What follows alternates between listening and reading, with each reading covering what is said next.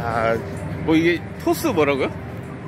토스를 어플을 깔고 예. 아니면 토스의 만복이라는 앱, 뭐랄까 프로그램이 있, 있는데 예. 그걸 키면은 집 근처에 알아서 뜹니다. 그러면은 총 집 근처의 주변 다섯 군데, 총 100원까지죠. 20원씩 다섯 개. 이거를 그 근처에 가면 이 20원씩 받을 수 있어요. 아. 그리고 만보까지 거두면 총 40원을 더 받아서 하루에 최 맥시멈 한 140원을 벌 수 있죠. 아, 저희가 지금 밤에 지금 지금 산책 나왔는데요. 산책 나오면서 지금 만보를 걸었더니 이런 토스에 20원 받기 기능이 뭔가 있대요. 그래서 지금 저희가 한번 해보려고 합니다. 아까 옆에 지나가다가 어디 지점이 있어서 했더니 20원이 뭔가 체크돼서 들어왔대요. 그 다음에 다음 코스는 맥도날드? 롯데리아? 거기에 코스가 있대요. 그래서 보면은 여기 있대요. 잠깐 한번 지도 한번 다시 볼게요.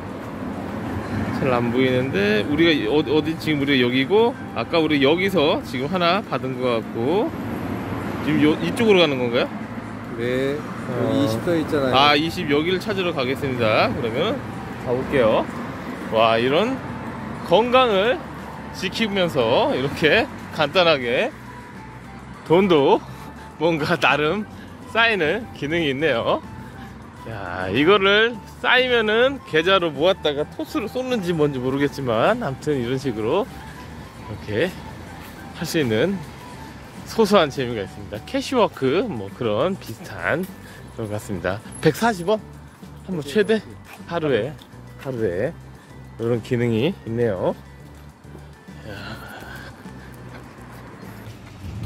자, 우리가 토스 만보기 지금 하고 있어요. 여기 지금 요 맥도날드가 그 토스 만보기 기점 중에 하나라고 하네요. 지금 가까이 저희가 접근 중입니다.